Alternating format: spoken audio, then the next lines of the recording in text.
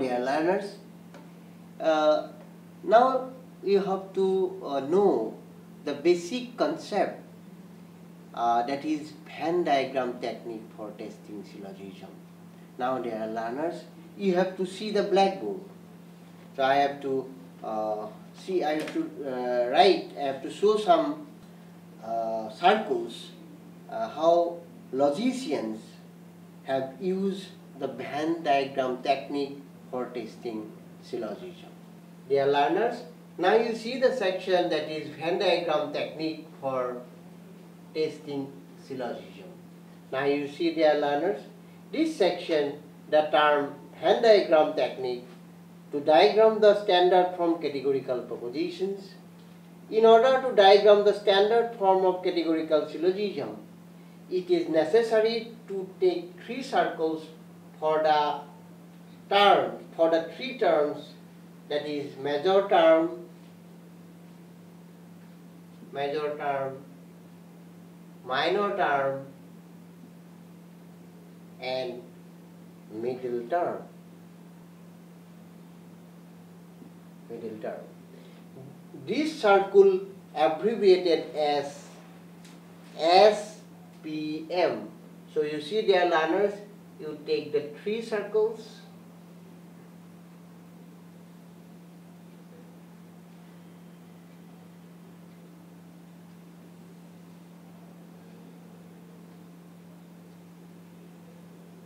Now you see the three circles?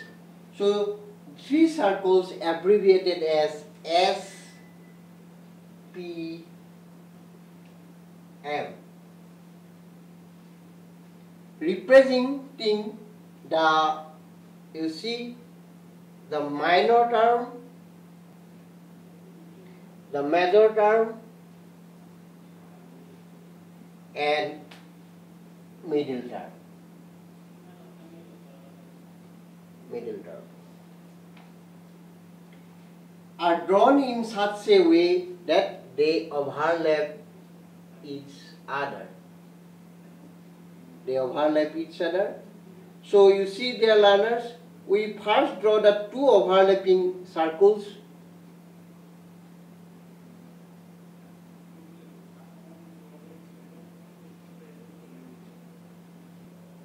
That is the circle S and the circle P and then we draw the third circle M this one M this one M. So you see dear learners, the diagram of three overlapping circles between S, P and M give the diagram of A plus. They are SPM, SPM, SP bar, M bar, then S bar, P M bar then S P M bar then S P M then S P bar M then S bar P M S bar P bar M and S P bar M bar. Now dear learners, now you see this diagram can be interpreted in terms of various classes. For example, we can take the letter S for the class of all scientists. This S indicates that all scientists. Then P for the class of all philosophers. So this P indicates all philosophers. This indicates all philosophers. And first one that S indicates all scientists. This indicates all scientists and M for the class of all mathematicians. So this indicates mathematicians class. Now dear learners you see, now the part S, P bar, M bar in this diagram represents the class of all scientists who are neither philosophers nor mathematicians. Again I repeat, so dear learners you see S bar, S, P bar, M bar represents that what? So all are sciences who are neither philosophers nor mathematicians. So it is the product of three class scientists and non-philosophers and non-mathematicians. Now you see SPM bar is the product of the class scientists and philosophers and non-mathematicians. Now you see they are learners. You see SPM bar means what? That this is also the product of the class scientists and philosophers and non-mathematicians. Now they are learners. You see SP S P bar M is the class. Which is the product of scientists and mathematicians and philosophers? Which is the product of scientists and mathematicians and philosophers? The part SPM this part you see they are learners so second one you see S bar P M bar means P means you see the all philosophers then it is non-scientist or non-mathematician. This is also the product of the three classes.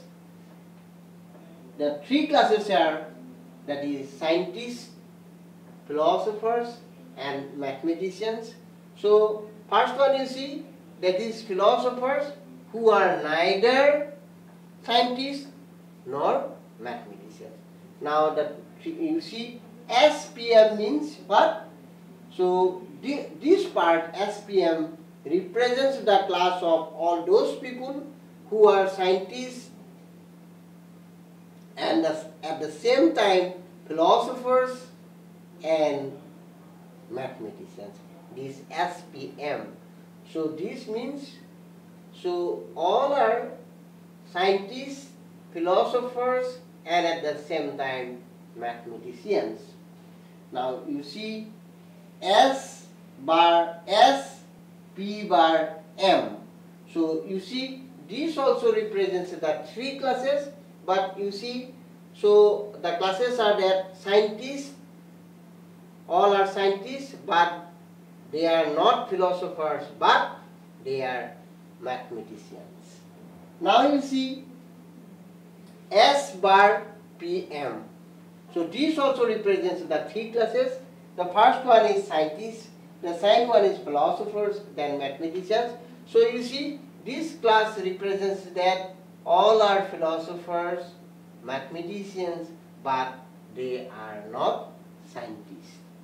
Here you see S bar P bar M this also represents the three classes, but this says that this indicates that that uh, they are neither scientists nor philosophers, but they are mathematicians. Now you see, they are learners. So S, P bar, M bar. So this also represents the three classes, but it indicates that this indicates that only the scientists, but they are not philosophers and they are not mathematicians. So you see dear learners, it is the class of all those people who are neither scientists nor philosophers nor mathematicians. S P bar M bar. So this indicates S bar P bar M bar. It indicates that they are neither scientists nor philosophers nor mathematicians. So it is the, so you see dear learners, by setting out or by inserting an X, we can draw diagram of any standard form categorical propositions whose terms are SPM. Now you see dear learners, by setting out or by inserting an X, we can diagram any standard form of categorical propositions whose terms are SPM. For example, to diagram the proposition all S are P, S P bar 0 uh, is equal 0, we have to set out of all S that is not contained in P as shown in below. You see there learners? You see in the blackboard? This is the first circle and second one is another circle. You see here we have to set this part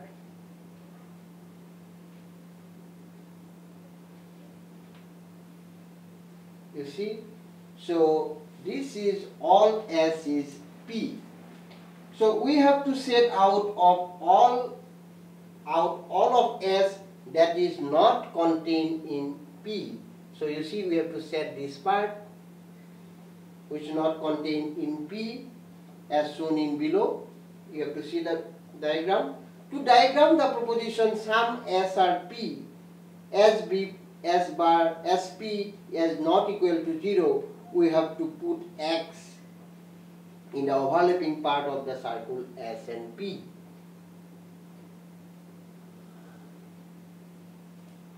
Now you see some SRP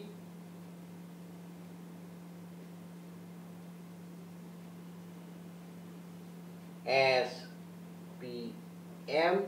here we have to write X means it indicates that to diagram the proposition some SRP, SP is not equal to 0.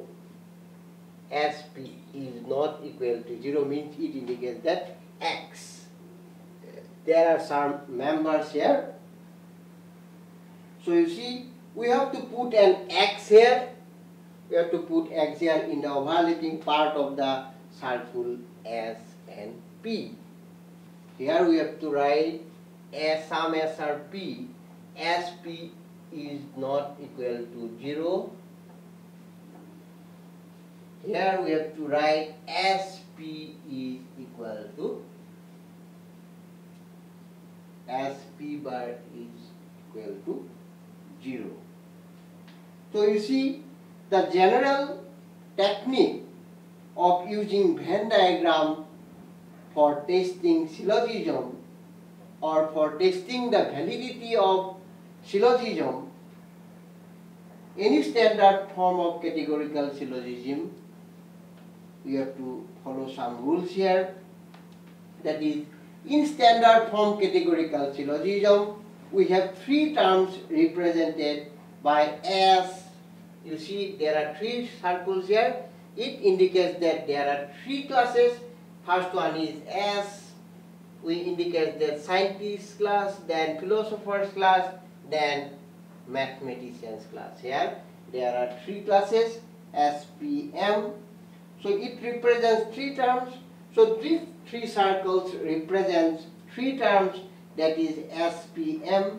First we draw the overlapping circles and they are labeled as S and P. You see the circle S stands for the minor terms. So this stands for minor terms S and P stands for major term and you see and M stands for the middle term. this one is middle. We diagram both the premises if one premise is universal and the other premise is particular, then it is necessary to diagram the universal premise first and then to diagram the particular premise. So you see first we have to diagram the major premise, then one is the minor premise, then the conclusion here. It is to be noted that we need not diagram the conclusion, rather we must respect the diagram to see whether or not the diagram of the premises contains in it the diagram of the conclusion. Again I repeat dear learners, you see, we diagram both the premises. If one premise is universal and the other premise is particular, then it is necessary to diagram the universal premise first and then to diagram the particular premise. Now you see there learners the third point, very important point, that is, it is to be noted that we not need not diagram the conclusion, rather we must inspect the diagram, means we must examine the diagram to see whether or not the diagram of the premises contained in the diagrams of the. If the diagram of the premises contain the diagram of the conclusion, then the given syllogism or the taken syllogism for testing that it is valid. If it does not, then if it does not means if the diagram does not show the conclusion is contained in the circle, then the syllogism will be invalid. So dear learners, you see, the diagram of the premises of a valid argument should be sufficient enough to include the diagram of the conclusion, such that no further marking of the circles is needed. Now dear learners, you see how we test the validity of the syllogism. Now you see, uh, dear learners, you take an example. All mathematicians are, all mathematicians are philosophers. Second one if you take all scientists are all scientists are mathematicians. And third one you take, all scientists are philosophers. All scientists are philosophers. Now you see, they are learners. This is an example of syllogism and how uh, we have to test this syllogism using the Venn diagram technique. You see dear learners, this syllogism consists of A proposition. All are A propositions. You see A and A. These are all A propositions. See dear uh, learners, we have to uh, draw the uh, figures. Now you see the first one.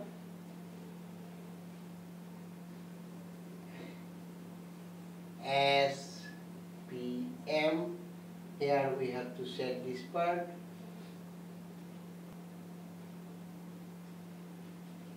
M P bar equal uh, 0, the first figure.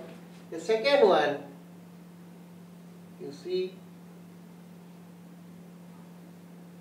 S M bar is equal 0. We have to set this part.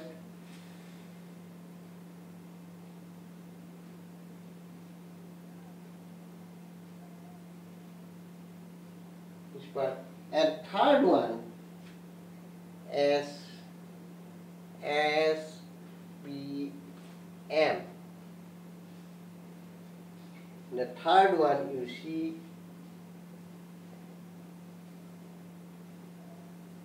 you see S P M S P M here we have to set this part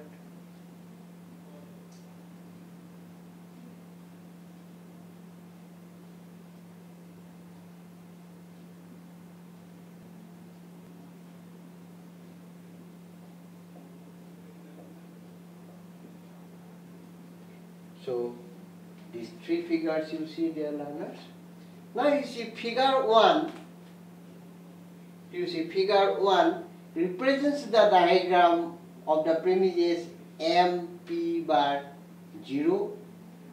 MP, MP bar consists of two classes that is M P bar R bar M P bar R bar or M P S bar. It is not R that is M P bar S bar. And M S P bar these two parts are shaded horizontally to indicate that M P bar M P bar 0 likewise figure 2 represents the diagram of the premise as M bar 0 here you see S M bar consists of two parts that is S P bar S P bar or M bar and S P M bar.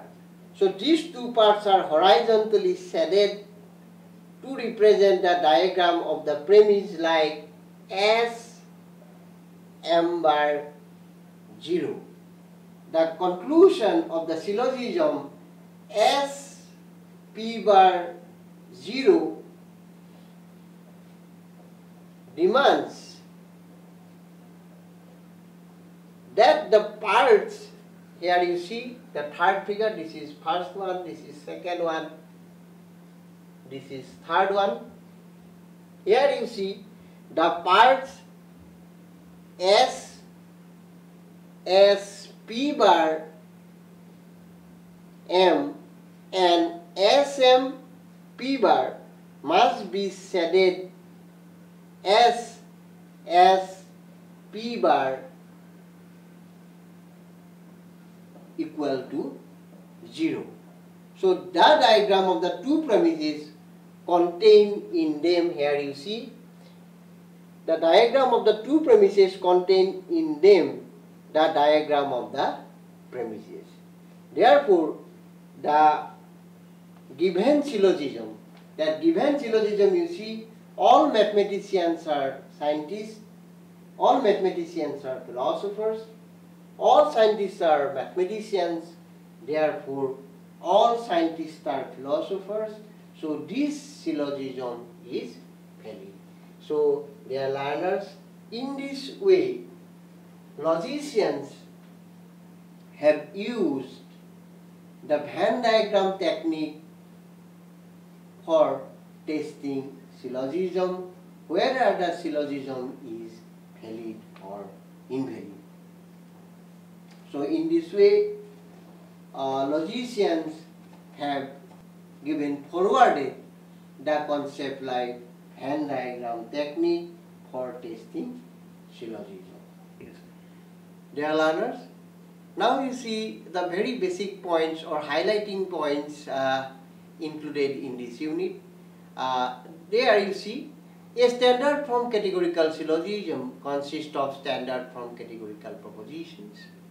Second one, the form of a standard form categorical syllogism is determined by its mood and figure, which already have been discussed. The third one, to test the validity of standard form categorical syllogism, three overlapping circles are drawn. We diagram both the premises but not the conclusion. The diagram of the premises must entail in it the diagram of the conclusion. An argument is valid if and only if the diagram of the conclusion follow from the diagram of the premises. So dear learners, these are the three basic points included in this unit. Now dear learners, to know in details about this unit, you have to consult some important books these books are here you see. You can take the book uh, Symbolic Logic written by M. Copi And second one, you can take another very important book that is uh, written by Shyam Kishore Singh. Book is Modern Logic. And also you can take another very important book that is written by Krishna Jain. Uh, that is a textbook of logic. So they are learners. I think uh, you have benefited uh, after going through this unit like standard form of categorical syllogism. Thank you.